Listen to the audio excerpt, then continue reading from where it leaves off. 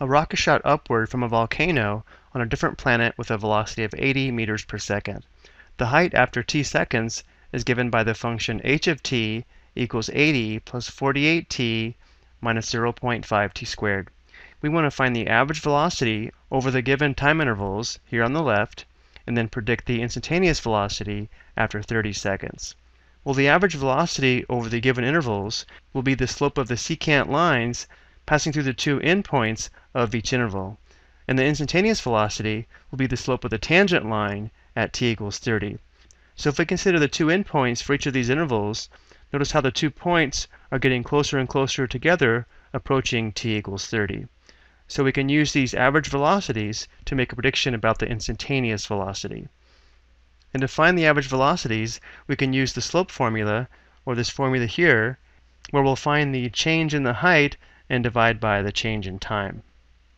But before we do this, let's take a look at an animation to get a better idea of how this is going to work.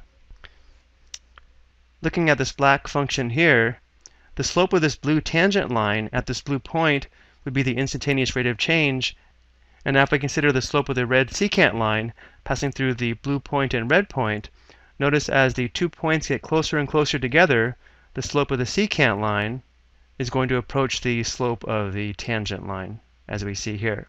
So using the slopes of the secant line, we're going to make a prediction about the slope of the tangent line. As you can see, as the two points get closer and closer together, the slope of the secant line will approach the slope of the tangent line. So to find the slope of the secant lines, using the endpoints of each of these intervals will take quite a bit of work, and because of this, I've already set most of it up. Notice how for this first interval, t sub 1 is equal to 30, t sub 2 is equal to 31. In the second interval, t sub 1 is equal to 30, t sub 2 is equal to 30.5, t sub 1 is 30, t sub 2 is 30.1, t sub 1 is 30, and t sub 2 is 30.01. So the average velocity for each of these intervals will be the change in the height or the change in the function value divided by the change in time. And I do want to show how we can save quite a bit of time by performing these calculations on a graphing calculator. We first want to enter the height function, so we'll press y equals, and we'll type in our function.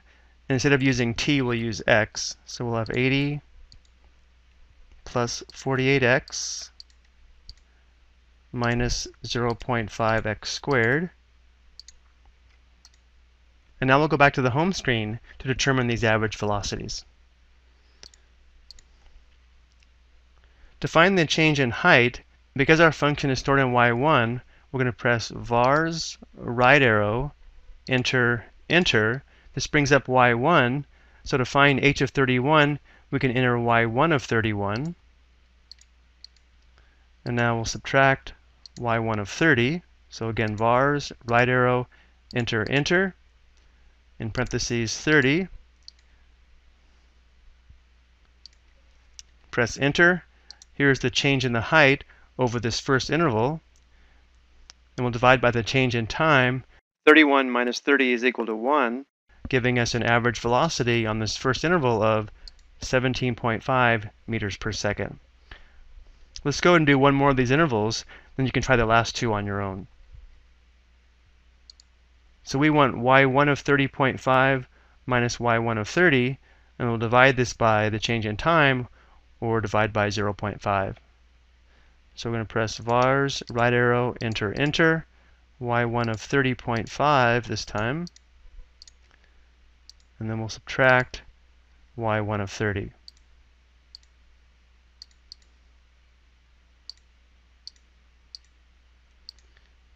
So here's the change in height. We'll divide by 0.5, which is the change in time, which gives us an average velocity on this interval of 17.75 meters per second.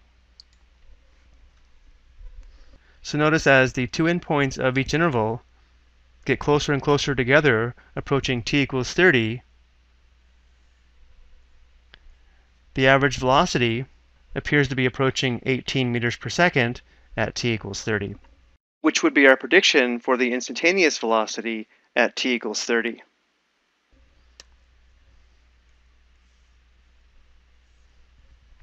I hope you found this example helpful.